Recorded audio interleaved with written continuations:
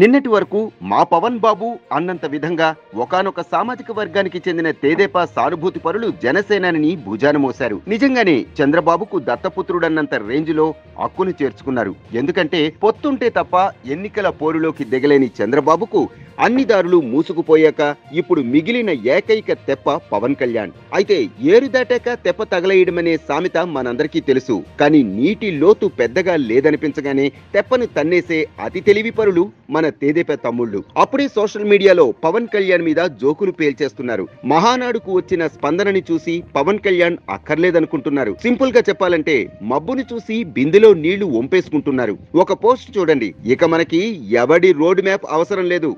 అవసరమైతే గ్లాసు గడికి cycle road మీద చోటిద్దాం. మరో పోస్ట్ ఇలా ఉంది. మనం తొడగొట్టేశాం. మెడరుద్దుడుగాడు మనకు అక్కర్లేదు ఇంకా వేరే పోస్టు. హమ్మయ్యా ఇప్పటికైనా ఆ జాతితో పొత్తు లేకపోతే బాగుండు.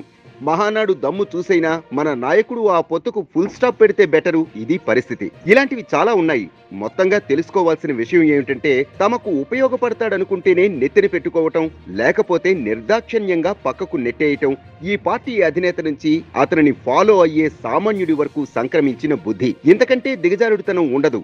అయినా పవన్ కళ్యాణ్ని అనాలి. నిజానికి అతనికి తేదేప అవసరం లేదు. మరో దారి లేని తేదేపాకే పవన్ అవసరం ఉంది. ఇది తెలుసుకోకుండా చంద్రబాబుకు విధేయుడిగా పవన్ ప్రవర్తించటం ఒక్క కాపు ప్రజానికానికే కాదు చాలా మందికి మింగుడు పడ్డం లేదు. ఎవరు ఎవరిని ఆడించాలి ఎవరు ఎవరిని ఆడిస్తున్నారు? పవన్కి కావాలంటే భాజపాతో పొత్తు కుదురుతుంది. చంద్రబాబుతో పెరటిగుమ్మం పరిచయం ఉందని భాజపాకి అనుమానం వచ్చినా ఆ పొత్తుకు ఒప్పుకోదు. కనుక తేదీపాతో తెగతెంపులు చేసుకుని భాజపాని పూర్తిగా నమ్ముకోవడమే పవన్కు బెటర్. లేకపోతే వాడుకని వదిలేసే చరిత్ర ఉన్న పసుపు బ్యాచ్కి టీ గ్లాసును నేలకేసి కొట్టడం పెద్ద లెక్కేం కాదు. సోషల్ మీడియాలో రెచ్చిపోతున్న తెలుగు తమ్ముళ్ళకి రేపు ఈ మహానాడు హడావిడంతా బలుపు కాదు వాపే అని తెలిస్తే మళ్ళీ పవన్ కళ్యాణ్ను సవరదీసుకొని అతని పల్లకి మోయడానికి సిద్ధమే. ఆ విషయంలో అస్సలు సిగ్గుపడరు.